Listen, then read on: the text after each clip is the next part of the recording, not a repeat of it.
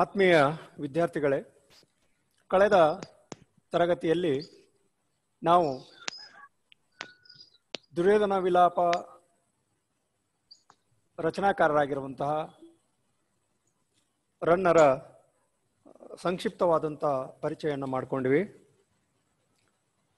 ಅಷ್ಟಲ್ಲದೆ ಈ ಕಾವ್ಯದ ವಿಚಾರಧಾರೆ ಏನಿದೆ, ಕಾವ್ಯ ಯಾವ ನೆಲೆಗಟ್ಟನ್ನು ಒಳಗೊಂಡಿರುವಂಥದ್ದು?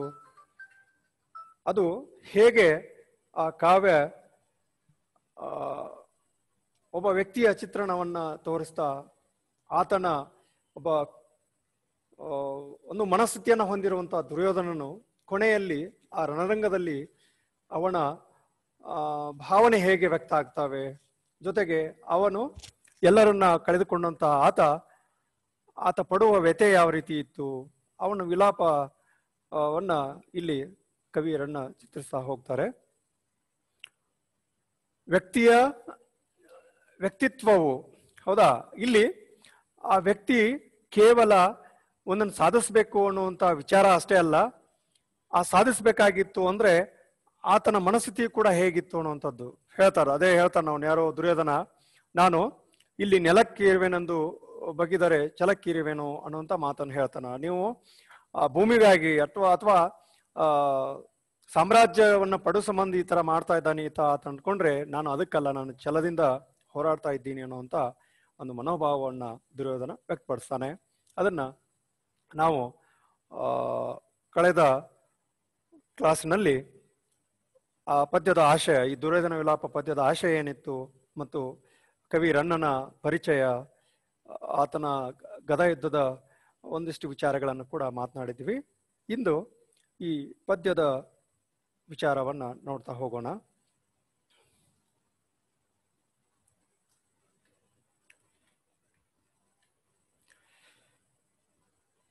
ಮೊದಲಿಗೆ ಇರುವಂತ ಪದ್ಯದ ಮೊದಲನೆಯ, ಈ ಪದ್ಯದ ಮೊದಲನೆಯ ಸ್ಟಾಂಜ ಏನಿದೆ ಅಂದ್ರೆ ಉಡಿದಿರ್ದ ಕೈದು ನೆತ್ತರ ಕಡಲೊಳ ಗಡಿ ಗಡಿಗೆ ತಳಮಣ್ ಉರ್ಚುತ್ತಿರೆ ಕಾಲಿಡಲ್ ಎಡೆವಡೆಯದೆ ಕುರುಪತಿ ದಡಿಗ ವೆನಂಗಳನ್ನೇ ಮೆಟ್ಟಿ ಮೆಲ್ಲನೆ ನಡೆದಂ. ಏನದು? ಉಡಿದಿರುವಂತಹ ಮುರಿದಿರುವಂತಹ, ಹಾಳಾಗಿರುವಂತಹ, ಯುದ್ಧದ ಸಂದರ್ಭದೊಳಗ ಹಾಳಾಗಿರುವಂತಹ ಆಯುಧಗಳು. ಕೈದು ಅಂದ್ರ ಆಯುಧ ಅನ್ನುವಂಥದ್ದು. ಅವುಗಳು ಏನಾಗ್ಬಿಟ್ಟಾವು? ನೆತ್ತರ.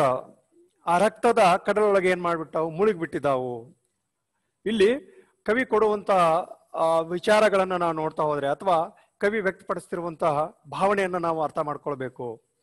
ರಕ್ತದ ಕಡಲೆ ಹೇಗಿರಾಕ ಸಾಧ್ಯ ಐತಿ ಅನ್ನುವಂಥದ್ದನ್ನ ನಾವಿಲ್ಲಿ ರಸಭಾಸ ಮಾಡಿಕೊಂಡ್ರೆ ಕಾವ್ಯವನ್ನ ಸರಿಯಾದ ಕ್ರಮದೊಳಗ, ಆ, ಕಾವ್ಯ ರಸವನ್ನ ಅನುಭವಿಸಕ್ಕಾಗೋದಿಲ್ಲ. ಅದನ್ನ ಕಲ್ಪನೆ ಮಾಡ್ಕೋಬೇಕು. ಕಲ್ಪನೆ ಮಾಡ್ಕೊಂಡಾಗ ಮಾತ್ರ ಅದನ್ನ ನಾವು ಅರ್ಥ ಮಾಡ್ಕೊಳಕ್ ಸಾಧ್ಯ ಆಗ್ತತಿ. ಉಳಿದಿದ್ದ ಕೈದು ನೆತ್ತರ ಕಡಲೊಳಗೆ ಅಡಿಗಡಿಗೆ ಮುಳುಗಿರುವಂತಹ ಮುರಿದು ಹಾಳಾಗಿರುವಂತಹ ಆಯುಧಗಳು ಈ ಕತ್ತ, ಯಾವುದು ನೆತ್ರದ, ರಕ್ತದ ಕಡಲಿನೊಳಗೆ ಏನ್ ಮಾಡಿದಾವು, ಮುಳುಗಿಬಿಟ್ಟಾವು.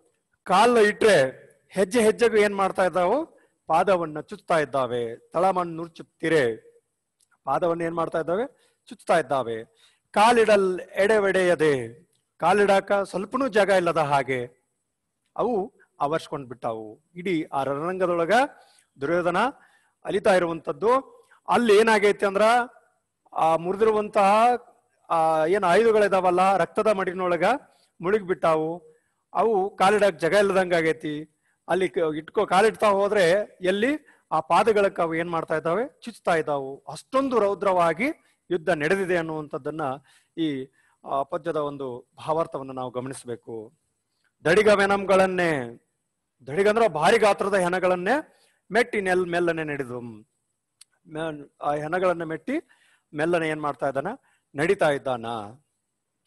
ಈ ರೀತಿ, ಅಂದ್ರೆ ಆ ಕವಿಯ ಒಂದು ರಚನಾ ಶಕ್ತಿ ಅನ್ನುವಂಥದ್ದು ಏನಿದೆಯಲ್ಲ ಅದನ್ನು ನಾವಿಲ್ಲಿ ಬಹಳ ರಸಮಯವಾಗಿ ಅನುಭವಿಸ್ಬೇಕು. ಹಂಗಂಗಿದ್ದು ಹಿಂಗೆಂಗಿತ್ತು ಅಥವಾ ಸಾಧ್ಯ ಐತೇನು ರಕ್ತದ ಕಡಲೆ ಇರಕ್ ಸಾಧ್ಯ ಐತೇನು ಮುಂದೆ ಬರ್ತತಿ. ರಕ್ತದ ನದಿನ ಹರಿತಾ ಇತ್ತು, ಅದು ಪ್ರವಾಹದಿಂದ ಹರಿತಾ ಇತ್ತು ಅಂತ ಕೂಡ ಹೇಳ್ತಾರೆ ಅನ್ನೋಂಥದ್ದು ಅದಕ್ಕ ಅದನ್ನ ಕಲ್ಪನೆ ಮಾಡ್ಕೊಂಡು ನೀವು ಕೇಳ್ತಾ ಹೋದ್ರೆ ಅದು ನಿಮಗೆ ಏನಾಗ್ತತಿ ಸರಿಯಾಗಿ ಮನದಟ್ಟಾಗ್ತತಿ. ಇಲ್ಲಾಂದ್ರೆ ಸರಿಯಾಗಿ ಅರ್ಥನ ಆಗೋದಿಲ್ಲ. ರಸವಾಸ ಆಯ್ತು ಅಂದ್ರೆ ಪದ್ಯ ಅರ್ಥನೇ ಆಗೋದಿಲ್ಲ. ಆ ರೀತಿ. ಇದನ್ನ ಹೇಳಿದ್ದೆ ನಾನು, ಮುಂದಿನ ಪದ್ಯ. ಇಭ ಶೈಲಂಗಳನ್ ಏರಿ ಏರಿ ರುದಿರ ಸ್ತ್ರೋತ್ರಂಗಳಂ ದಾಂಟಿ ದಾಂಟಿ ಇಬಧೋನ್ ನೀಲಲತಾ ಪ್ರತಾಣ ವಿಪಿನ ರಾತಂಗಳೋಳ್ ಸಿಲ್ಕಿ ಸಿಲ್ಕಿ ಬರಂಗೈದು ಉರಿದ ಉರಿದೈದು, ಉರಿದೈದ ಈ ಸಂಜಯ ಶಿರಸ್ಕಂದಾವಲಂಬಂ. ಕುರುಪ್ರಭು ಕಂಡಂ ಶರಜಾಲ ಜರ್ಜರಿತ ಗಾತ್ರ ತ್ರಾಣಮಂ ದ್ರೋಣಮಂ ಅನ್ನುವಂಥ ಮಾತು. ಅವನು ಈ ತರ ಇರುವಂತಹ ಆ ರಣರಂಗದಲ್ಲಿ ಏನ್ ಮಾಡ್ತಾ ಇದ್ದಾನೆ, ದುರ್ಯೋಧನ ಸಂಜಯನೊಂದಿಗೆ ಬರ್ತಾ ಇದ್ದಾನೆ. ಬರುವಾಗ ಕಾಲಿಡಕ್ಕೂ ಜಾಗ ಇಲ್ಲದೆ ಹಾಗೆ ಅಲ್ಲೇನಾಗಿತ್ತು, ಆಯುಧಗಳು ಬಿದ್ದ್ಬಿಟ್ಟಿದ್ವು ಮುರಿದು ಮುರಿದ ಆಯುಧಗಳು, ಆ, ಎಲ್ಲ ಮುರಿದು ಬಿದ್ದ್ಬಿಟ್ಟಿದ್ವು ಕಾಲಿಡಕ್ ಜಾಗ ಇರಲಿಲ್ಲ, ರಕ್ತದ ಕಡಲ್ ಆಗ್ಬಿಟ್ಟಿತ್ತು, ಆ, ಭಾರಿ ಗಾತ್ರದ ಹೆಣಗಳನ್ನ ಹತ್ಕೊಂಡು ಅವನು ಮೆಲ್ಲಗೆ ನಡ್ಕೊಂಡು ಬರ್ತಾ ಇದ್ದ. ಬರಬೇಕಾದ್ರೆ ಮತ್ತೆ ಮುಂದೆ ಹೇಳ್ತಾರೆ ಇವ ಶೈಲಂಗಳನ್ನೇರಿ ಏರಿ ಇಲ್ಲಿ ಇಬಶೈಲಂಗಳನ್ನ ಏರಿ ಏರಿ ಅನ್ನುವಂತ ಮಾತು. ಇಬಶೈಲ ಅಂದ್ರ ಏನು ಅನ್ನುವಂಥದ್ದನ್ನ ನಾವು ಗಮನಿಸ್ಬೇಕಾಗ್ತತಿ. ಇಬ ಅಂದ್ರೆ ಆನೆ. ಇಬ ಅಂದ್ರ ಆನೆ, ಶೈಲ ಅಂದ್ರೆ ಬೆಟ್ಟ ಅನ್ನುವಂಥದ್ದು. ಇವ ಶೈಲಂಗಳನ್ನ ಏರಿ ಏರಿ ಆನೆಗಳು ಕೂಡ ಅಲ್ಲಿ ಏನಾಗಿತ್ತು? ಸತ್ ಬಿದ್ದಿರುವಂಥದ್ದು. ಆ ಆನೆಗಳು ಬಿದ್ದ, ಹೆಂಗ್ ಬಿದ್ದಿದ್ದು ಅಂದ್ರೆ ಬೆಟ್ಟ ಬಿದ್ದ ಹಾಗೆ ಬಿದ್ದಿತ್ತು ಅನ್ನುವಂಥದ್ದನ್ನ ಇಲ್ಲಿ ಕವಿಯ ಒಂದು ಕಲ್ಪನಾ ಲೋಕದ ಸ್ಥಿತಿ. ಆನೆಗಳು ಏನ್ ಮಾಡ್ಯಾವು? ರಣರಂಗದೊಳಗ ಬಿದ್ದಾವು. ಹೆಂಗ್ ಬಿದ್ದು ಸತ್ ಬಿದ್ದಾವು ಅಂದ್ರೆ ಬೆಟ್ಟಗಳ ಬಿದ್ದು ಹಾಕಿ ಬಿದ್ದಾವು. ಅವನು ಭಾರಿ ಗಾತ್ರದ ಹೆಣಗಳನ್ನ ಮೆಟ್ಟಿ ನಡಿತಾ ಮೆಲ್ಲನೆ ನಡಿತಾ ಬರ್ತಾ ಇರ್ಬೇಕಾದ್ರೆ ಮುಂದೆ ಏನಾಯ್ತು? ದೊಡ್ಡ ಗಾತ್ರದ ಆನೆಗಳು, ಬೆಟ್ಟದ ಆಕಾರದ ಆನೆಗಳು ಏನ್ ಮಾಡಾವು ಸತ್ ಬಿದ್ದಿದ್ದಾವು. ಅವುಗಳನ್ನು ಕೂಡ ಏರೇರಿ ಬರ್ತಾ ಇದ್ದ. ಅವುಗಳನ್ನ ದಾಟ್ಕೊಂಡು ದಾಟ್ಕೊಂಡು, ಹತ್ಕೊಂಡು ಹತ್ಕೊಂಡು ಬರ್ತಾ ಇದ್ದ. ಮುಂದೆ, ರುದಿರ ಸ್ತೋತ್ರಂಗಳಂ ದಾಂಟಿ ದಾಂಟಿ. ರುದಿರ ಅಂದ್ರೆ ರಕ್ತ. ರುದಿರ ಅಂದ್ರೆ ರಕ್ತ. ಸ್ತೋತ್ರ ಅಂದ್ರೆ ನದಿ ಅನ್ನುವಂಥದ್ದು. ಹೌದಾ? ಅದು ಎಂತ ನದಿ ಅಂದ್ರೆ ರಭಸದಿಂದ ಕೂಡಿರುವಂತಹ ನದಿ. ರಕ್ತದ ರಭಸದಿಂದ ಕೂಡಿರುವಂತಹ ನದಿ ದಾಟ್ಕೊಂಡು ಆತ ಬರ್ತಾ ಇದ್ದ. ಇಲ್ಲಿ ಕೊಡುವಂಥದ್ದು ವಿಚಾರವನ್ನು ನೋಡ್ಬೇಕು ನಾವು. ರುದ್ರ ಅಂದ್ರೆ ರಕ್ತ, ಸ್ತೋತ್ರ ಅಂದ್ರೆ ಏನೈತಲ್ಲ? ಅದು, ಆ, ರಭಸ ಉಳ್ಳಂತ ನದಿ ಅನ್ನುವಂತ ಅರ್ಥವನ್ನು ಕೊಡುವಂಥದ್ದು. ಅಂದ್ರೆ ಆ ರೀತಿ ಬ- ಏನು ಬೆಟ್ಟದ ಆಕಾರದ ಆನೆಗಳು ಬಿದ್ದಿದ್ದು ಅವನು ಏರ್ಕೊಂಡು ಬರ್ತಾ ಇದ್ದ, ರಕ್ತ ಹೆಂಗ ಹರಿತಾ ಇತ್ತಂದ್ರೆ ಪ್ರವಾಹದ ಸ್ಥಿತಿಯೊಳಗ ನದಿ ಹರ್ದಂಗೆ ಹರಿತಾ ಇತ್ತು. ಅದನ್ನ ದಾಟಿ ದಾಟಿ ಬರ್ತಾ ಇದ್ದ. ಮುಂದೆ ಹೇಳ್ತಾನೆ, ಏನದು? ಇಬದೋರ್ನ್ ಇಬದೋರ್ನ್ ನೀಲಲತಾ ಪ್ರತಾಣ ವಿಪಿನ ರಾತಂಗಳೋಳ್ ಅನ್ನುವಂಥದ್ದನ್ನು. ಈ ರೀತಿ ಇರುವಂತದ್ದನ್ನ ದಾಟಿ ದಾಟಿ ಬ ಬರ್ತಿರಬೇಕಾದ್ರೆ ನೀಲ ಅಂದ್ರ ಕಪ್ಪು. ಆ ನೀಲ ಅಂದ್ರ ಕಪ್ಪು ಇಬದೋ ಅಂದ್ರೆ ಆಣೆಯ ಸೊಂಡಿಲು. ಆ ಆನೆಯ ಸೊಂಡಿಲುಗಳು ಬಿದ್ದಿದ್ವು ಅಲ್ಲ ಅವನ್ ಹೆಂಗ್ ಬಿದ್ದಿದ್ದು ಅನ್ನುವಂಥದ್ದನ್ನ ಹೇಳ್ತಾ ಹೋಗುವಂಥದ್ದನ್ನ ಬಹಳ ರಮ್ಯವಾಗಿ ವರ್ಣಿಸ್ತಾ ಹೋಗ್ತಾರೆ. ಬೆಟ್ಟದ ಆಕಾರದೊಳಗೆ ಆನೆಗಳು ಬಿದ್ರೆ ಆ ಆನೆಯ ಸೊಂಡಿಲು ಆನೆಯ ಸೊಂಡಿಲು ಹೆಂಗ್ ಬಿದ್ದಿತ್ತು ಹೆಂಗ್ ಬಿದ್ದಿತ್ತು ಅಂದ್ರೆ ಕಪ್ಪು ಕಪ್ಪು ಬಳ್ಳಿ ಆಕಾರದೊಳಗ. ಒಂದು, ಆ ದೊಡ್ಡ ಕಾಡಿನೊಳಗ ಯಾವ ರೀತಿ ಬಳ್ಳಿಗಳು ಹಬ್ಬಿರ್ತಾವಲ್ಲ ಆ ರೀತಿ ಆಕಾರದೊಳಗ ಆ ಆನೆಯ ಸೊಂಡಿಲುಗಳು ಕೂಡ ಆ ಬಳ್ಳಿ ಆಕಾರದೊಳಗೆ ಬಿದ್ದಿದ್ವು. ಇಬ್ಬದು ನೀಲ ಲತಾ ಪ್ರತಾನ ಲತಾ ಅಂದ್ರೆ ಬಳ್ಳಿ, ನೀಲ ಅಂದ್ರೆ ಕಪ್ಪು ಕಪ್ಪು ಬಳ್ಳಿಗಳು ಕಂಡು ಹಾಕಿ ಕಾಣ್ತಾ ಇದ್ವು. ಎಲ್ಲಿ? ವಿಪಿನ ವಿಪಿನ ಅಂದ್ರೆ ಕಾಡು. ಆ, ಕಾಡಿನೊಳಗ ಆನೆಗಳು ಬಿದ್ದಿದ್ದು ಹೆಂಗ್ ಬಿದ್ದಿತ್ತು ಅಂದ್ರೆ ಬೆಟ್ಟನ ಬಿದ್ದಂಗ ಆನೆಗಳು ಬಿದ್ದಿದ್ದು ಆ ಆನೆಗಳ ಸೊಂಡಿಲುಗಳು ಹೇಗಿದ್ದು ಅಂದ್ರೆ ಒಂದು ಬೃಹತ್ ಆಗಿರುವಂತ ಬೆಟ್ಟದೊಳಗ ಕಪ್ಪು ಬಳ್ಳಿಗಳ ಯಾವ ರೀತಿ ಬಿಟ್ಟಿರ್ತಾವೋ ಆ ರೀತಿ ಅದರ ಸೊಂಡಿಲುಗಳು ಇತ್ತು ಆನೆಯ ಸೊಂಡಿಲುಗಳಿದ್ವು ಆ ತೊಡಕುಗಳನ್ನು ಬಿಡಿಸ್ಕೊಂಡು ಆತ ಮುಂದೆ ಹೋಗ್ತಾ ಇದ್ದ ಅನ್ನುವಂಥದ್ದನ್ನ ಇಲ್ಲಿ ಹೇಳ್ತಾ ಹೋಗ್ತಾರೆ. ಆ ತೊಡಕುಗಳನ್ನ ಆತ ಬಿಡಿಸ್ಕೊಂಡು ಮುಂದೆ ಹೋಗ್ತಾ ಇದ್ದ ಅನ್ನುವಂತ ವಿಚಾರವನ್ನ ಇಲ್ಲಿ ಹೇಳ್ತಾರೆ. ವಿಪಿನ ರಾತಂಗಳೋಳ್. ವಿಪಿನ ಅಂದ್ರೆ ಕಾಡು. ಆ ಕಾಡಿನೊಳಗ ಸಿಕ್ಕಂತ ಅಥವಾ ಆ ಅಡವಿಯಲ್ಲಿ ದಾಟ್ಕೊಂಡು ರೋತ ಅಂದ್ರೆ ಆ ಬಳ್ಳಿಗಳ ಸಮೂಹ ಅನ್ನುವಂತ ರೀತಿ ಒಳಗ. ರೋತ ಅಂದ್ರೆ ರಾತಂಗಳೊಳಂದ್ರೆ ಕಾಡಿನ ಬಳ್ಳಿಗಳ ಸಮೂಹ. ಬಳ್ಳಿಗಳು ಸಿಕ್ಕೊಂಡ್ರೆ ಹೆಂಗ್ ಆಗ್ತಾ ಇರುತ್ತಲ್ಲ, ಆ ರೀತಿ ಆ ಆನೆಗಳು ಸತ್ತಿದ್ರುವಂತ, ಬೆಟ್ಟದ ಆಕಾರದ ಆನೆಗಳು ಸತ್ತಿದ್ರುವಂತ ಅಲ್ಲಿ ಅದರ ಆನೆಯ ಸೊಂಡಿಲುಗಳು ಯಾವ ರೀತಿ ಅಂದ್ರೆ ಕಪ್ಪು ಬಳ್ಳಿಗಳು ತೊಡಕ್ ಬಿದ್ದ ಹಾಗೆ ಆತನಿಗೆ ಅನಿಸ್ತು. ಅಷ್ಟೊಂದು ರೌದ್ರವಾಗಿರುವಂತಹ ಯುದ್ಧ ಆಗಿತ್ತು. ಅಲ್ಲಿ ಅಷ್ಟು, ಆ, ಆನೆಗಳು ಸತ್ತು ಬಿದ್ದಿದ್ವು ಅನ್ನುವಂಥದ್ದನ್ನ ಇಲ್ಲಿ ಹೇಳ್ತಾ ಇರುವಂಥದ್ದು. ಮುಂದೆ ವಿಪಿನರಾತಂಗಳು ಸಿಲ್ಕಿ ಸಿಲ್ಕಿ ಅದ್ರಾಗ ಸಿಕ್ಕೊಂಡು ಎದ್ ಬಿಡಿಸ್ಕೊಂಡು ಬರುವಂತ ಅವನ ಒಂದು ಸ್ಥಿತಿಯನ್ನ ಹೇಳ್ತಾ ಇರುವಂಥದ್ದು.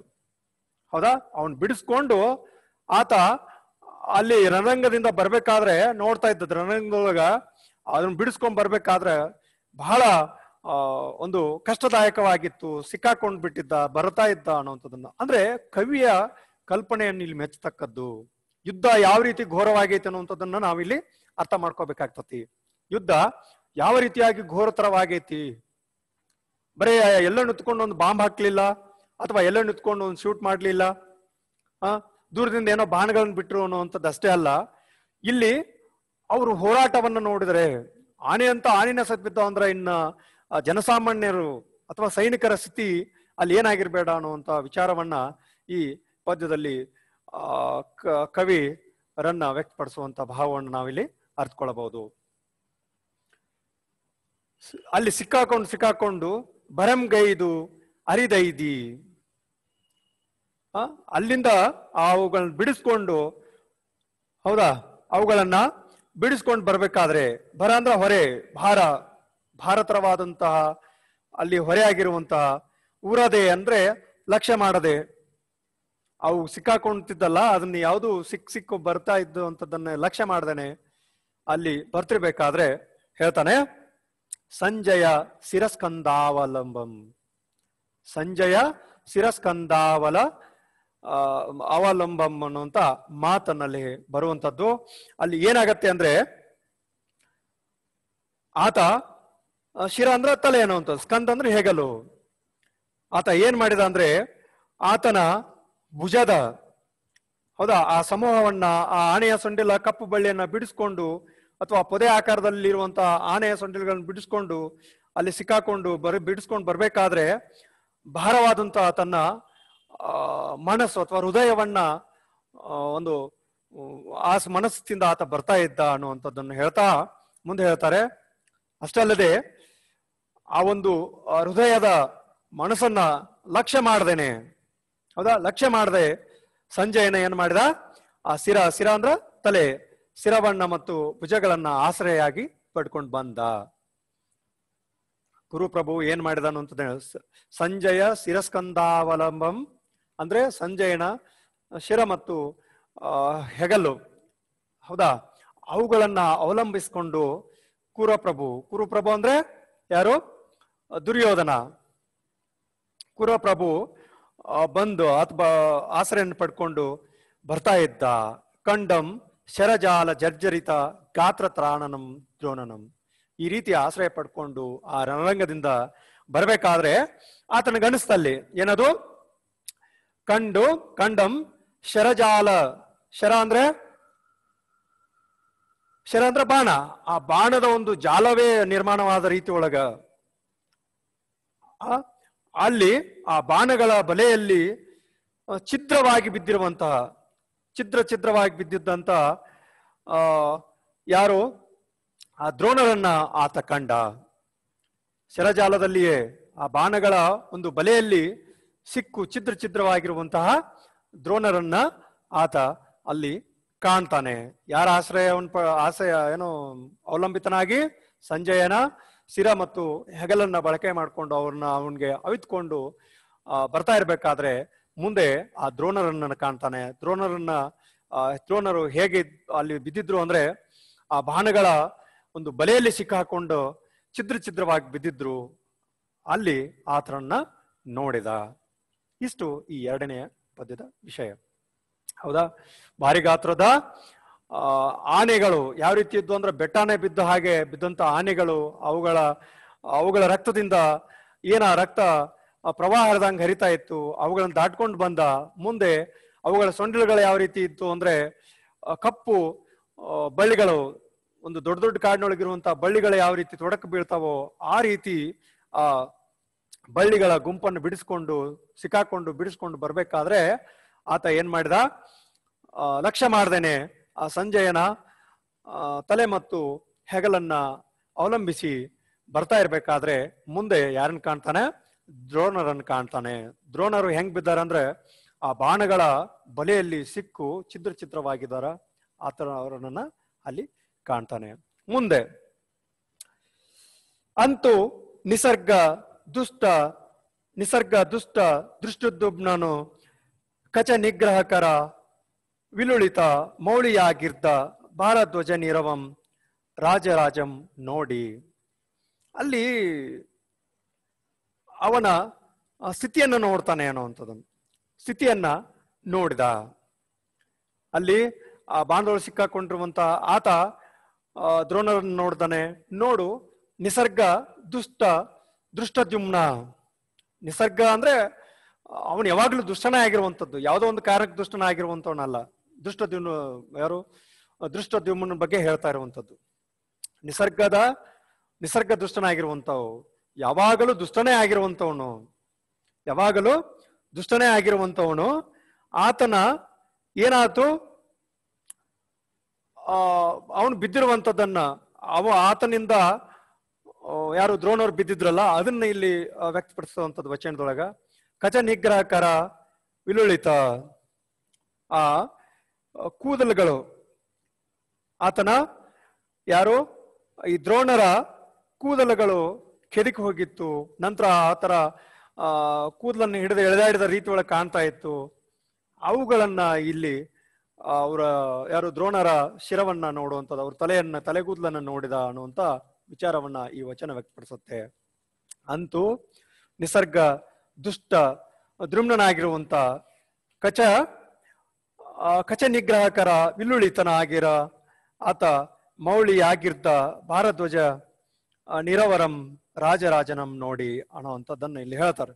ಅಂದ್ರೆ ಅಲ್ಲೇನಾತು ನಿಸರ್ಗದ ಸ್ವಭಾವತ ಸ್ವಭಾವತ ದುಷ್ಟನಾಗಿರುವಂತಹ ಅಥವಾ ಕೆಟ್ಟವನಾಗಿರುವಂತಹ ಆ ದುಷ್ಟದ್ಯುಮ್ನ ಅನ್ನುವಂಥವನು ಕಚ ಅಂದ್ರೆ ತಲೆಗೂದಲು ನಿಗ್ರಹ ಅಂದ್ರೆ ಶಿಕ್ಷೆ, ಆ ಕೂದಲನ್ನು ಹಿಡಿದು ಎಳೆದಾಡಿದ್ದ.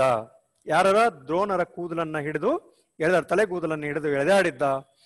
ಅಷ್ಟೇ ಅಲ್ಲದೆ ಅವರನ್ನ ಶಿಕ್ಷಿಸಿದ್ದ ಅನ್ನುವಂಥ ರೀತಿ ಒಳಗ ವಿಳಿಲಿತ ಅಂದ್ರೆ, ಆ, ತಿರುಚಲ್ಪಟ್ಟ ಆತರ ಕೂದಲುಗಳನ್ನ ಹಿಡಿದು ಎಳೆದಾಡಿದ್ದಲ್ಲ, ಆ ಒಂದು ಸಂದರ್ಭ. ಮೌಳಿ ಆಗಿರ್ದ ಅನ್ನುವಂಥದ್ದು. ಮೌಳಿ ಅಂದ್ರೆ ತಲೆ. ಆ ರೀತಿ ಇರುವಂತ ತಲೆಯನ್ನ ನೋಡಿದಂತ ಯಾರು? ಭಾರಧ್ವಜನ ಮಗನಾಗಿರುವಂತ ದ್ರೋಣರು. ಬಾ ಏನು ಭಾರದ್ವಜರ ನಿರವಂ ಅಂದ್ರೆ ಅದು ದ್ರೋಣರು ಅನ್ನುವಂಥದ್ದು. ದ್ರೋಣರನ್ನ ಈತ ಆ, ರಾಜರಾಜಂ ನೋಡಿದ ಯಾರು? ದುರ್ಯೋಧನ ಅವ್ರನ್ನ ನೋಡ್ತಾನೆ. ಇಲ್ಲಿ ನಾವು ಗಮನಿಸಬೇಕಾಗಿರುವಂತದ್ದು ಏನು ಅಂದ್ರೆ ಅವರು ಯಾ ಎಷ್ಟೊಂದು ಪರಾಕ್ರಮತೆಯಿಂದ ಹೊಂದಿರುವಂತವ್ರು ದ್ರೋಣಾಚಾರ್ಯರು ಬಾ ಏನು ಬಿಲ್ಲದ ಒಂದು ಭಿನ್ನಾನತೆಯನ್ನು ಹೊಂದಿರುವಂತವ್ರು ಅವ್ರ ಸ್ಥಿತಿ ಹಿಂಗಾಯ್ತಲ್ಲ ಅನ್ನುವಂತ ವಿಚಾರ, ಅಷ್ಟೇ ಅಲ್ಲದೆ ಅವರು ತಲೆಗೂದಲನ್ನು ಹಿಡಿದು ಎಳೆದಾಡಿರುವಂತದ್ದು ನೋಡಿದ್ರು. ಈ ಎಲ್ಲವನ್ನ ಕಂಡಂತ ಆತ ದುರ್ಯೋಧನಿಗೆ ಒಂದು ರೀತಿಯಾದಂತಹ ಒಂದು ಮಾನಸಿಕ ಸ್ಥೈರ್ಯವನ್ನ ನಾವು ಇಲ್ಲಿ ನೋಡ್ತಾ ಹೋಗ್ತೀವಿ. ಮುಂದೆ, ಮುಂದಿನ ಪದ್ಯದಲ್ಲಿ. ಅರಿಮೇಂ, ಅರಿಮೆ ಬಿಲ್ಲ ಬಿನ್ನಣಕೆ ಗಾಂಡೇವಿ ಎಲ್ತು ಪೀನಾಕ ಪಾನೀಯಂ ನೆರೆಯನ್ ಇದಿರ್ಚಿ ನಿಮ್ಮೊಡನೆ ಕಾದಿ ಗೆಲ್ಲಲ್ಕದು. ನಿಮ್ಮ ಉಪೇಕ್ಷೆಯಂ, ನಿಮ್ಮ ಉಪೇಕ್ಷೆ ಎಂದರಿಯೇನ್, ಎನ್ನನ್ ಇದೆನ್ನ ಕರ್ಮ ವಶಮೆ ಎಂದರಿಯೇನ್? ಎಂ, ನಿಮಗಿಂತೂ ಸಾವು ನಿಮಗಿಂತೂ ಸಾವು ಈ ತೆರನ ಈ ತೆರದಿನ ಕಾರಣಂ ನೆರೆಯೇ ಸಂಭವಿಸಿದ್ದುದು ಕುಂಭ ಸಂಭವ. ಇಲ್ಲಿ ಹೇಳ್ತಾರೆ, ಏನ್ ಹೇಳ್ತಾರಂದ್ರೆ ಆ ರೀತಿ ಘೋರತರವಾಗಿರುವಂತಹ ದುಃಖದಿಂದ, ಘೋರತರವಾಗಿರುವಂತಹ ದುಃಖವನ್ನ ಕಂಡಂತ ಆತನನ್ನ ಇಲ್ಲಿ ನೋಡ್ತಾರೆ. ಹೌದಾ? ಆತನನ್ನ ಇಲ್ಲಿ ನೋಡ್ತಾರೆ. ಸಾವನ್ನ ಹೊಂದಿರುವಂತಹ ಆ ದ್ರೋಣರ ಸ್ಥಿತಿಯನ್ನ ಕಂಡು, ಹೌದಾ? ಸಾವಿನ ಸ್ಥಿತಿಯನ್ನ ಕಂಡು ಅವರು ಅಲ್ಲಿ ಕಾಣುವಂತ ಪರಿಯನ್ನು ನಾವು ಇಲ್ಲಿ ನೋಡ್ತಾ ಹೋದ್ರೆ ಅರೆ ಮೇರೆ ಅರೆಮೆಯೇ ಬಿಲ್ಲ ಭಿನ್ನನಕೆ ಅನ್ನುವಂಥದ್ದು. ಅರೆಮೆಯ ಬಿಲ್ಲ ಭಿನ್ನನಕೆ ಗಾಂಡೇವಿ ಇಲ್ತು. ಗಾಂಡೇವಿ ಇಲ್ತು ಅನ್ನುವಂಥದ್ದು. ಅಂದ್ರೆ ಆ ಅವರ ಸ್ಥಿತಿಯನ್ನ ಹೌದಾ? ಅವರ ಸ್ಥಿತಿಯನ್ನ ಇಲ್ಲಿ ವ್ಯಕ್ತಪಡಿಸ್ತಾ ಹೋಗುವಂಥದ್ದು. ಅಲ್ಲಿ ಹೇಳ್ತಾರ ಅವ್ರು, ನನ್ನ ಅರ್ತಿಲ್ಲೇನು ನನಗೇನು ಗೊತ್ತಿಲ್ಲೇನು ಅನ್ನುವಂಥ ರೀತಿ ಒಳಗ. ಅಲ್ಲಿ ಅವ್ರು ಹೇಳ್ತಾರೆ, ಏನು? ನನಗೆ ಗೊತ್ತಿಲ್ಲೇನು ನಾನು ಅರ್ತಿದ್ದೇನೆ ಅನ್ನುವಂಥದ್ದನ್ನ ಇಲ್ಲಿ ಹೇಳ್ತಾರೆ. ಇದನ್ನು ನಾವು ಅರಿವೆ ಅನ್ನುವಂಥದ್ದನ್ನು. ಹೆಂಗಂದ್ರೆ, ಆ, ದುಷ್ಟ ದೃಣುಮ್ನಿಂದ ಸಾವನ್ ಕಂಡಂತ ಈ ದ್ರೋಣರನ್ನ ಕುರಿತು ಹೇಳ್ತಾ ಇರುವಂತದ್ದು ಬಿಲ್ಲ ಭಿನ್ನನಕ್ಕೆ ಗಾಂಡಿ ಇಲ್ತು ಬಿಲ್ಲ ಭಿನ್ನನಕ್ಕೆ. ಬಿಲ್ಲ ಅಂದ್ರೆ ಬಿಲ್ಲುಗಾರಿಕೆಗೆ. ಭಿನ್ನನತೆ ಅಂದ್ರೆ ನೈಪುಣ್ಯತೆ. ನಾವು ನಿಮ್ಮ, ಆ ಬಿಲ್ಲುಗಾರಿಕೆ ನೈಪುಣ್ಯತೆಯನ್ನ ಅರ್ತಿಲ್ಲೇನು, ಗೊತ್ತಿಲ್ಲೇನು ನೀವು ಎಷ್ಟು ಪ್ರವೀಣರು ಅನ್ನುವಂಥದ್ದನ್ನ ಇಲ್ಲಿ ವಿಚಾರವನ್ನ ಇಲ್ಲಿ ವ್ಯಕ್ತಪಡಿಸ್ತಾ ಹೋಗ್ತಾನೆ. ಇದನ್ನ ಅರಿವೆ ನಿಮ್ಮ ಬಿಲ್ಲ ಭಿನ್ನನಕ್ಕೆ ಇರುವಂತ ಸ್ಥಿತಿಯನ್ನ ಅನ್ನುವ ವಿಚಾರವನ್ನ ಇಲ್ಲಿ ಹೇಳ್ತಾರೆ. ಅಂದ್ರೆ ಕೈಚಳಕ. ಎಷ್ಟೊಂದು ನೀವು ಬಿಲ್ಲ ಪ್ರಾವೀಣ್ಯತೆಯನ್ನು ಹೊಂದಿದ್ರಿ ಅನ್ನುವಂಥದ್ದನ್ನ ದ್ರೋಣರ ಬಗ್ಗೆ ಹೇಳ್ತಾರೆ ಗಾಂಡೀವಿ ಎಲ್ತು?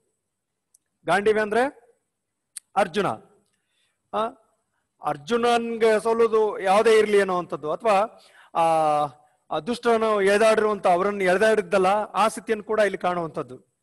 ಆ, ಬಿಲ್ಲ ಬಾಣಗಳ ಕೈಚಳಕದಿಂದ ಅಥವಾ ಪ್ರವೀಣರಾಗಿರುವಂತ ನಿಮ್ಮಣ್ಣ ಅಥವಾ ನಿಮ್ಮಣ್ಣ ಗಾಂಡೀವಿಯಲ್ತು ಗಾಂಡೀವಿ ಅಂದ್ರೆ ಅರ್ಜುನ. ಅರ್ಜುನನಿರಲಿ ಪೀನಾಕಪಾನೀಯಂ. ಪೀನಾಕಪಾನೀಯಂ ಅಂದ್ರೆ, ಆ, ಪೀನಾಕ ಅಂದ್ರೆ ತ್ರಿಶೂಲ. ತ್ರಿಶೂಲವನ್ನು ಹೊಂದಿರುವಂತವನು ಯಾರು? ಶಿವ. ಹೌದಾ? ಶಿವನಂದನೂ ಕೂಡ ನಿಮ್ಮನ್ನ ಗೆಲ್ಲಕ್ ಆಗ್ತಾ ಇರ್ಲಿಲ್ಲ. ಅರ್ಜುನ ಇರ್ಲಿ, ಅರ್ಜುನ ಯಾಕಡೆ ಅವನು ನಿಮಗೆ ಸಮಾನವಾದಂತವನಲ್ಲ ಅಥವಾ ಅವ್ನು ಗೆಲ್ಲಕ್ ಸಾಧ್ಯನೇ ಇಲ್ಲ ಅನ್ನುವಂತ ರೀತಿಯನ್ನು ಹೇಳ್ತಾ ಮುಂದೆ ಹೇಳ್ತಾರೆ.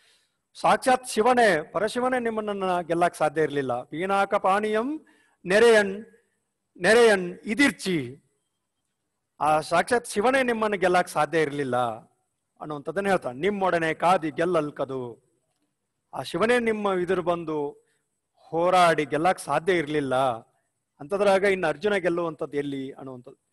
ಅವಾಗ ಮುಂದುವರೆದು ಹೇಳ್ತಾರ, ನಿಮ್ಮ ಉಪೇಕ್ಷೆಯಂ ನಿಮ್ಮ ಉಪೇಕ್ಷೆಯಂದೆ ಅರಿಯೇ ಅನ್ನುವಂತ ಮಾತನ್ನು ಇಲ್ಲಿ ಹೇಳ್ತಾರೆ. ಆ, ಅದೇನು, ನಿಮ್ಮ ಉಪೇಕ್ಷೆ ಇತ್ತು ಅಥವಾ ಅದು ನೀವು ಆ ರೀತಿ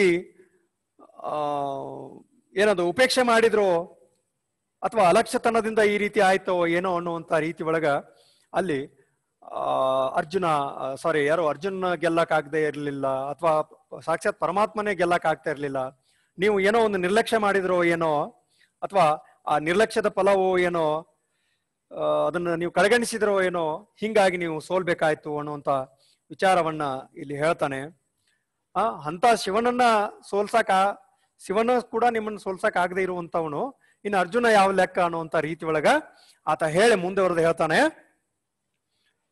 ಹೀಗಿರುವಾಗ, ಹೀಗಿರ್ಬೇಕಾದ್ರೆ, ಆ, ನೀವು ಹೇಗೆ ಯುದ್ಧದಲ್ಲಿ ಸೋತ್ರಿ? ಅಂತ ಹೇಳ್ತಾನ ನಾವು.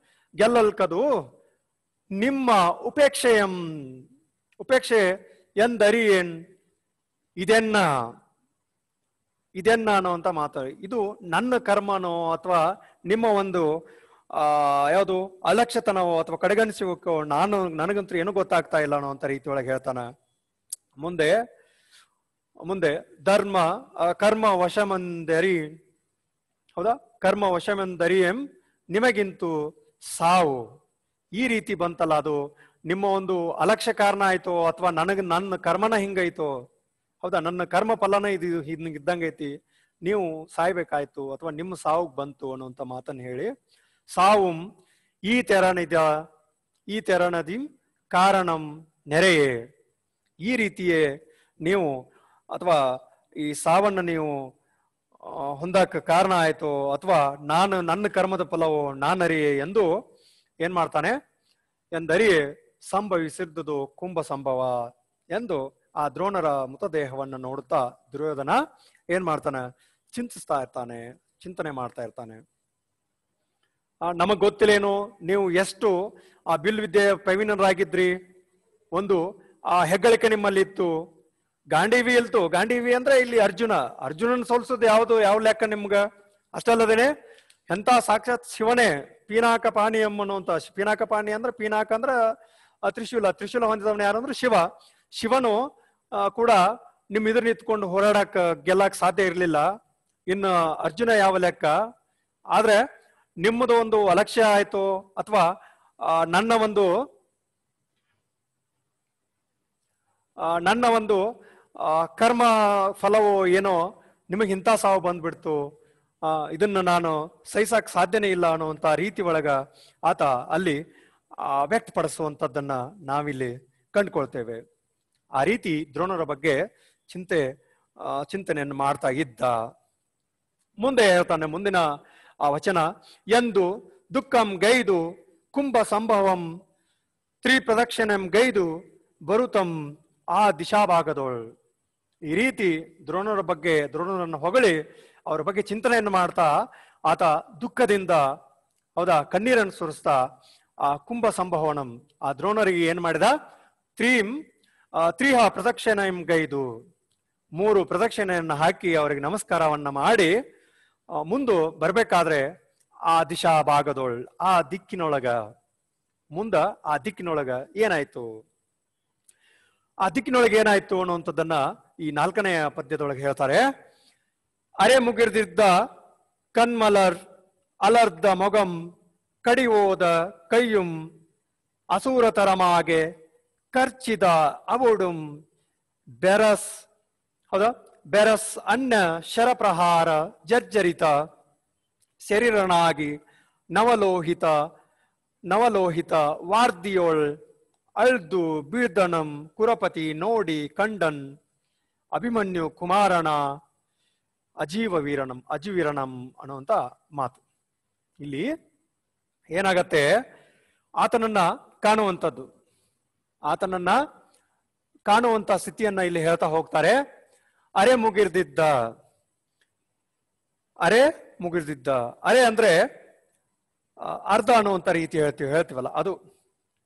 ಇಲ್ಲಿ ಏನಾಗಿತ್ತು ಅಂದ್ರೆ, ಮುಂದೆ ಆ ದ್ರೋಣರನ್ನ ದಾಟ್ಕೊಂಡು ಮುಂದೆ ಬರ್ಬೇಕಾದ್ರೆ ದುರ್ಯೋಧನನು ಅಭಿಮನ್ಯುವನ ದೇಹವನ್ನು ನೋಡ್ತಾನೆ.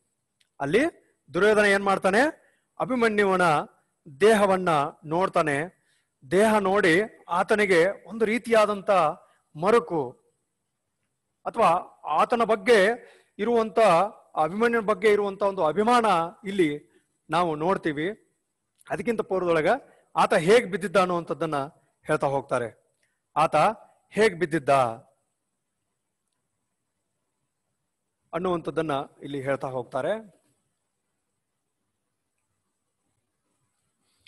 ಅಲ್ಲಿ ಏನಾಗತ್ತೆ ಅನ್ನುವಂಥದ್ದನ್ನ ಹೇಳ್ತಾರೆ. ಅರೆ ಅರೆ ಅಂದ್ರೆ ಏನು? ಅರ್ಧ ಅನ್ನುವಂಥದ್ದನ್ನು. ಹೌದಾ? ಅರ್ಧ ಭಾಗ. ಅರೆ ಮುಗಿರ್ದಿದ್ದ. ಅರ್ಧ ಭಾಗ ಅಥವಾ ಮುರಿದಿರುವಂತಹ ಅಥವಾ ಸೀಳಿರುವಂತಹ ಅನ್ನುವಂಥ ರೀತಿ ಒಳಗೆ. ಹೇಳ್ತಾನೆ ಏನದು? ಅರೆ ಮುರಿದಿದ್ದ ಕಣ್ಮಲಾರ್ದು ಅನ್ನುವಂಥ ಮಾತು. ಅಂದ್ರೆ ಆತ ಏನ್ ಮುಂದೆ ದುರ್ಯೋಧನ ಬರ್ತಾ ಇದ್ದಲ್ಲ, ಬಂದಾಗ ಅಭಿಮನ್ಯು ನೋಡ್ತಾನೆ, ಅರ್ಧ ಮುದುಡಿದ ಅವನ ಕಣ್ಣುಗಳು ಅರೆ ಮುರಿದಿದ್ದ ಕಣ್ಮಲರ್. ಅಂದ್ರೆ ಆತನು ಅರ್ಧ ಮುದುಡಿದ, ಅಂದ್ರೆ ಅರಗಣ್ಣು ಅಂತ ಹೇಳ್ತೀವಲ್ಲ, ಸಾವು ಸತ್ತಿದಾನವನು ಅಭಿಮನ್ಯು, ಅರ್ಧ ಕಣ್ಣು ತೆರೆದಿದೆ ಅನ್ನುವಂಥದ್ದನ್ನು, ಅರ್ಧ ಕಣ್ಣು ತೆರೆದಿದೆ. ಅರ್ಧ ಮುದುಡಿದ ಪೂರ್ತಿ ಮುದುಡಿರಲಿಲ್ಲ, ಅರ್ಧ ಮುರಿದಿತ್ತು. ಅಂದ್ರೆ ಸ್ವಲ್ಪ ಕಣ್ಣು ಬಿಟ್ಟ ಹಾಗೆ ಕಣ್ಣು ಕಾಣ್ತಾ ಇತ್ತು ಅವನು.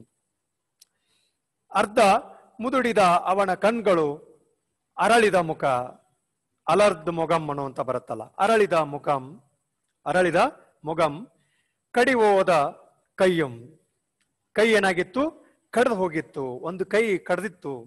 ಒಂದು ಕೈ ಕಿತ್ತು ಹೋಗಿತ್ತು ಅನ್ನುವಂಥದ್ದನ್ನು ಕಡ್ದು ಬಿಟ್ಟಿದ್ರು. ಪ್ರಯೋಗ ಆಗಿತ್ತು ಅನ್ನುವಂಥದ್ದು ಒಂದು ಕೈ ಏನಾಗಿತ್ತು? ಕಡ್ದು ಹೋಗಿತ್ತು.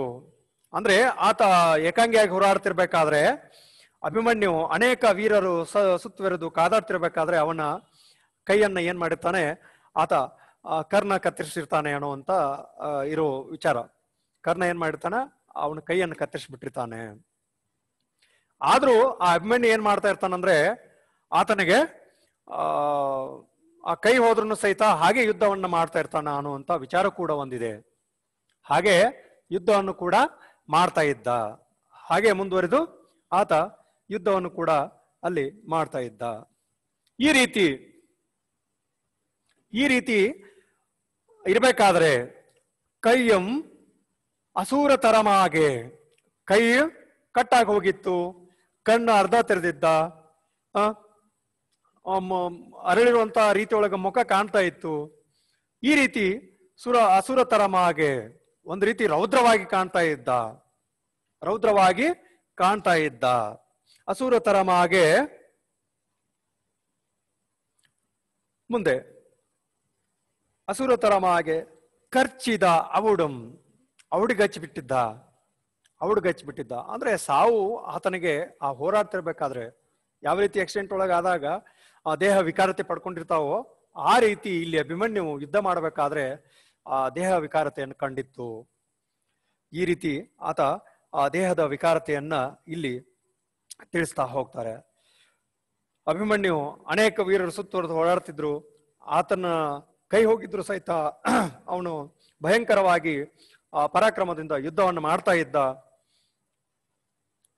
ಮುಂದೆ, ಅದೇ ಏನದು? ಆ ಔಡನ್ನು ಕಚ್ಚಿದ್ದ ಅವನು, ಹಲ್ಲಿನಿಂದ ಔಡನ್ನ ಕಚ್ಚಿದ್ದ. ಅವಡು ಕಚ್ಚಿದ್ದ, ಆ, ಬೆಸರ್ ಏನದು? ಹ್ಮ್. ಬೆರಸ್ ಅನ್ಯ ಶರ ಪ್ರಹಾರ. ಆ, ಬೇರೆದವರ ಶರ ಶರ ಅಂದ್ರ ಬಾಣಗಳ ಪ್ರಹಾರ ಕೂಡ ಆಗಿತ್ತು. ಅವನ ಎದುರು ಸೈನ್ಯದವರು ಏನ್ ಮಾಡಿದ್ರು? ಬಿಟ್ಟಂತ ಹಲವಾರು ಬಾಣಗಳು, ಆ, ದೇಹದಿಂದ ನಟ್ಕೊಂಡು ಆಗ ತಾನೇ ರಕ್ತ ಹೊಮ್ತಾ ಇದ್ದು ಅನ್ನುವಂತ ರೀತಿ ಒಳಗ ಆತ ಬಿದ್ದಿದ್ದ. ಬೆರಸ್ ಅನ್ಯ ಶರ ಪ್ರಹಾರ, ವಿರೋಧಿ ಬಣದಲ್ಲಿ ಇರುವಂತಹ ಅಥವಾ ವಿರೋಧಿಗಳಿಂದ ಅವನ ವಿರುದ್ಧ ಹೋರಾಡ್ತಿರುವಂತರಿಂದ ಆ ಬಾಣಗಳ ಏನು ಪ್ರಹಾರ ಆಗಿತ್ತಲ್ಲ, ಅದರಿಂದ ಜರ್ಜರಿತನ ಶರೀರನಾಗಿ ಅವನು ಛಿದ್ರ ಛಿದ್ರವಾಗಿ ಬಿಟ್ಟಿದ್ದ ಅವನ ದೇಹದ ತುಂಬ ಎಲ್ಲ ಬಾಣಗಳು ನಟ್ಕೊಂಡ್ ಬಿಟ್ಟಿದ್ವು, ಕೈ ಹೋಗಿತ್ತು, ಕಣ್ಣು ಅರ್ಧ ಹೊಡೆದಿದ್ದ ಅವಡಿಗಚ್ಚಿಬಿಟ್ಟಿದ್ದ.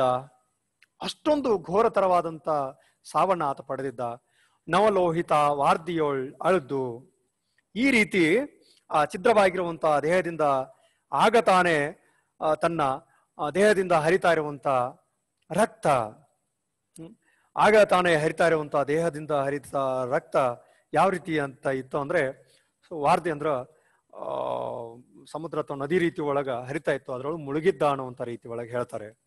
ವಾರ್ದಿಯೋಳ್ ದೇಹದಿಂದ ಹರಿತಿರುವಂತಹ ರಕ್ತ, ಆ ಮಡಗಟ್ಟಿ ಬಿದ್ದಂತಹ ರಕ್ತದ ಸಮುದ್ರದೊಳಗೆ ಆತ ಬಿದ್ದಿದ್ದ, ಮುಳುಗಿ ಬಿದ್ದಿದ್ದ ಅನ್ನುವಂಥದ್ದು ಅಷ್ಟೇ ಅಲ್ಲದೆ ಅದನ್ನ ಕಂಡಂತಹ, ಆತನ ಪರಾಕ್ರಮವನ್ನ ಕಂಡಂತ ಕುರುಪತಿ ನೋಡಿ ಬಹಳ ನೊಂದ್ಕೊಳ್ತಾನೆ. ಅವನ ಬಗ್ಗೆ ಬಹಳ ಫೀಲ್ ಮಾಡ್ಕೊಳ್ತಾನೆ. ಅರ್ಜುನನ ಮಗನ ಅವನು ಅಭಿಮನ್ಯು, ಆದ್ರೂ ಅರ್ಜುನನ ಮೇಲೆ ಇರುವಂತ ಸಿಟ್ಟು ಅವನ ಮಗನ ಮೇಲೆ ಇರಲಿಲ್ಲ. ಯಾಕಂದ್ರೆ ಅಷ್ಟೊಂದು ಪರಾಕ್ರಮಿಯಾಗಿರುವಂತಹ ಈ ಅಭಿಮನ್ಯುನ ಕಂಡ ಆತನಿಗೆ ಬಹಳ ವೇದನೆ ಅನಿಸುತ್ತೆ. ಈ ರೀತಿ ಕಂಡನ ಅಭಿಮನ್ಯು ಕುಮಾರನನ್ ಕುಮಾರನನ್ ಅಜೀವರಂ ಅಂತ ಮಾತನ್ನು. ಅಜೀವರ ಅಂದ್ರೆ, ಆ, ಪರಾಕ್ರಮಿಯಾಗಿರುವಂತಹ ವೀರತನವನ್ನ ತೋರಿದಂತಹ, ಆ, ಯಾರನ್ನ? ಅಭಿಮನ್ಯನನ್ನ ಕಾಣ್ತಾನೆ. ಅಭಿಮನ್ಯನನ್ನ ಕಾಣ್ತಾನೆ. ಆಜೆ ಅಂದ್ರೆ ಯುದ್ಧ ಅನ್ನುವಂಥದ್ದು. ಆ ಯುದ್ಧ ಪರಾಕ್ರಮಿಯಾದಂತಹ ಅಭಿಮನ್ಯನನ್ನ ಈ ಕುರಪತಿಯ ಕಂಡ ಅನ್ನುವಂಥದ್ದು. ಇಷ್ಟು ಈ ಪದ್ಯದ ವಿಚಾರವನ್ನ ನಾವು ಒಟ್ಟು ನಾಲ್ಕು ಒಂದೇ ಒಂದನೇ ಪದ್ಯದೊಳಗ ನಾಲ್ಕು ಪದ್ಯದ ಸಾರಾಂಶವನ್ನು ನೋಡಿದೆವು. ಉಳಿದ ಪದ್ಯದ ಭಾಗವನ್ನ ಮುಂದಿನ ತರಗತಿಯಲ್ಲಿ ನೋಡೋಣ. ಎಲ್ಲರಿಗೂ ಧನ್ಯವಾದಗಳು.